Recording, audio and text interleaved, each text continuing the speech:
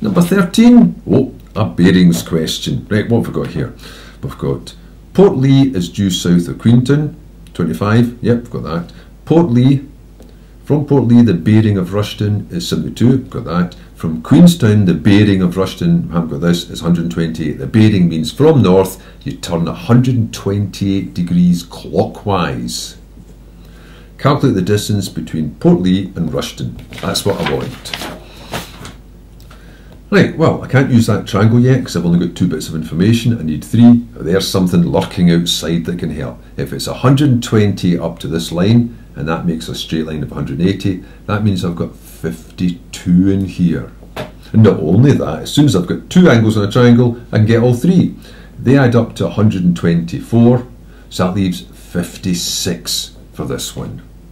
Now I can use the sine rule. There's an opposite pair. So if I want PR, I can say this. I'm going to put the question down. Question 13. You can write the sine rule out if you like, A over sine A, etc. In inverted commas, because these are P's and Q's and R's, but you could just jump straight in, that's what I do. PR over its angle, sine of 52 degrees, equals the one that you know, 25, over the sine of its partner angle, the angle subtended by it, over the sine of 56 degrees. One step away now. I want PR on its own, so get rid of this. It's dividing, take it across and multiply. 25 sine 52 over sine 56.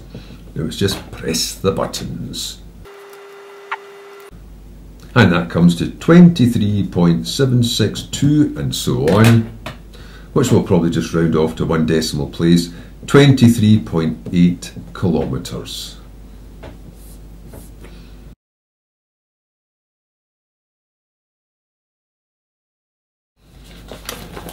Fourteen, last question.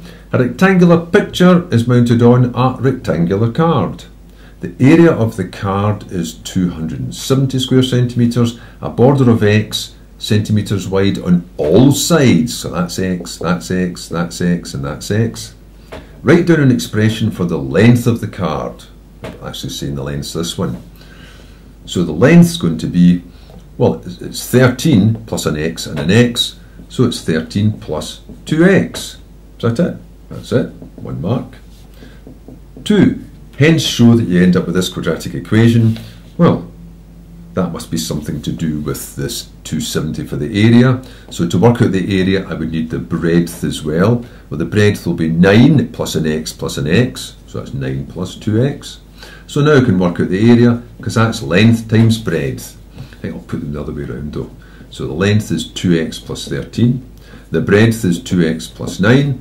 So now you multiply it out, and that will be 4x squared plus 18x plus 26x plus, and that's going to be 90, 117.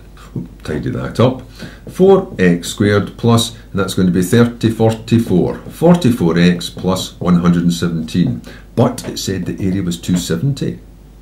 So if the area is equal to 270, that means that this thing, 4x squared plus 44x plus 117 is equal to 270. Almost there, just take that over to this side.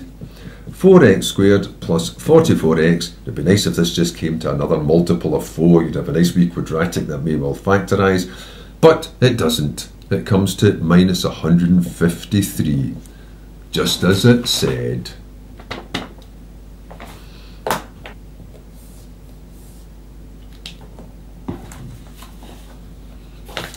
So the next part is, what is x? I mean, that was obvious with it coming up. Solve a quadratic equation, but don't waste your time factorising it, because as you can see there, calculate the answer to one decimal place. You'll need more room than this, so shove it up there. Right, we'll have to use the quadratic formula. So A is 4, B is 44, and C is negative 153. They're horrible numbers to have to use. You can't even simplify them because they don't divide by anything in common. Right, so I just have to go in with this. So x will be, it's the negative of b plus or minus, I'll just put it down first of all, b squared minus 4ac all over 2a.